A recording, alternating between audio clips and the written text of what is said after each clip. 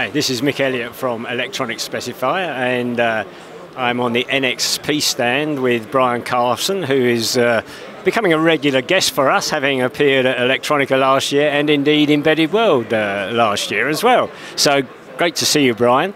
I think we're going to talk about software-defined vehicles and the technologies behind that uh, today. So uh, maybe you can start to give us a little bit of background on where NXP is headed into this market. Yeah, sure. So last year at the show, we talked about electric vehicle and the, the, the, brain of the EV, and then electronic, we talked about the, the brain of the electric motor. And now we're taking the next level up, which is the brain of the whole vehicle, or you know, the vehicle computer, which for, for going forward, for software-defined vehicles, is the key box, the key brain of the vehicle.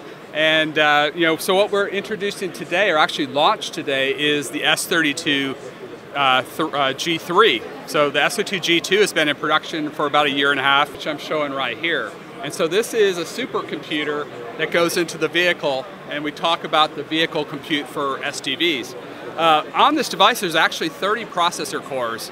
Uh, yeah, 21 of those are ARM cores, uh, so there's quite a lot of processing.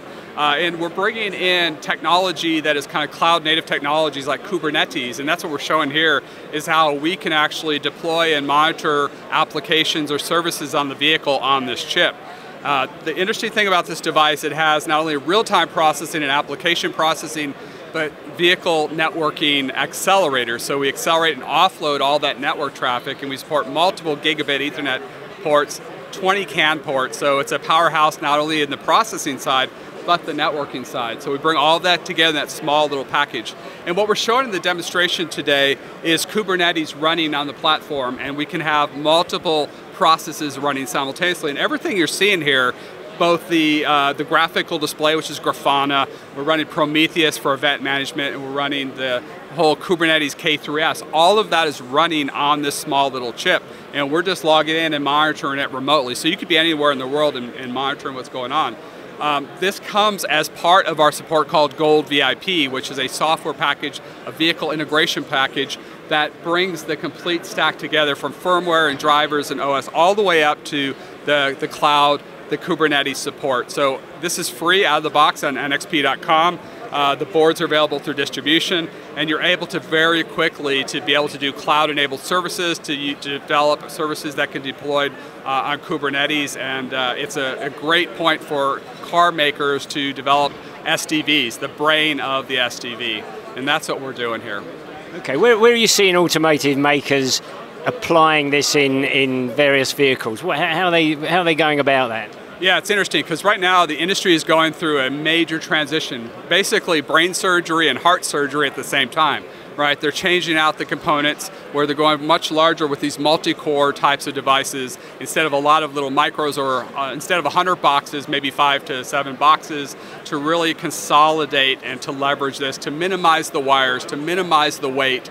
Uh, and so they're moving this direction. So this device fits very well in the vehicle computer in the central part of the vehicle. We also have the S32E and Z that we talked about last summer, and we have the uh, S32K, which is at the edge. So we have devices for those different parts of the vehicle, of these new software-defined vehicles that are using zonal architectures.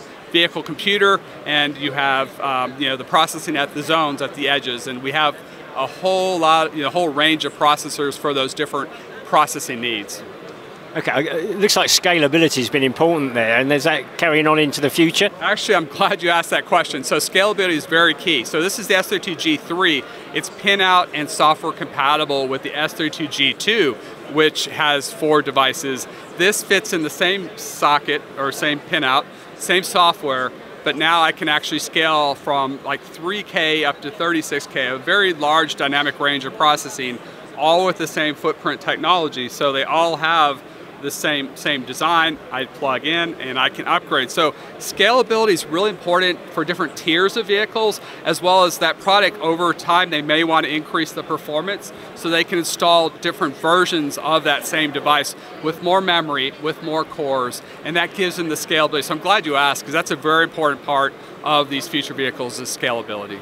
And I guess one of the interesting things now, from your point of view, is you know, it brings together NXP expertise both in software and hardware. That's a great point, is that this is not only in the past, it was more hardware about networking and automotive processing and safety and security. The next level now with these software-defined vehicles is all about software.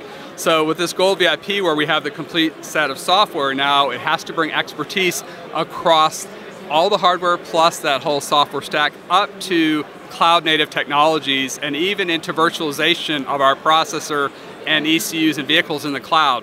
So working with car makers to virtualize this in the cloud, develop software, test it, and then deploy it to the vehicle in a continuous integration, continuous deployment or CI/CD process. That's what's new here. It's not just the chip and the software, it's the cloud and how all that development is transformed into this cycle of using over-the-air updates and doing development and virtualization in the cloud. So it's it's really an exciting area, but a big disruption for everyone, you know, from suppliers to automakers. But you know, surprisingly, it's gone fairly well. But there's a lot of complexity that's, like I said, heart surgery and brain surgery at the same time. So I guess this requires a bit of mutual support, if you like, between you and the car makers. Yes, definitely, and that's really interesting too. Is especially over the last few years, is the relationship between the OEM and silicon vendors like us that are very strategic we work closely with the OEMs and looking ahead, and not only for supply side, but also for technology and road mapping and making sure that the silicon that's coming will fit their needs and into the future, especially with SDV. Now they want to have more control over the overall architecture, the roadmap of where they're going, and they need to have that strategic collaborative relationship with the ecosystem, including the silicon provider. So it's not just like the old days where I write a spec, someone builds the box and they provide it to the OEM you have to be very tightly integrated or collaborative with the OEM to get it right because it's a massive undertaking for everyone and that relationship becomes really critical. Okay, and the, the device is in production now? Yeah, so that's what we're talking about here is we're in mass production this device. So you can go through distribution, uh, the normal distribution channel for NXP, uh, the boards, the chip, the software is available online on nxp.com, so that's already there. Um, so yes, it's fully available, and we expect that this device will not only be in vehicle computers, one thing I didn't mention is this is also used in a lot of uh, ADAS and autonomous drive systems as a safety processor. It has the performance needed for modern systems that need very, very high level performance of safety. It also forms that role.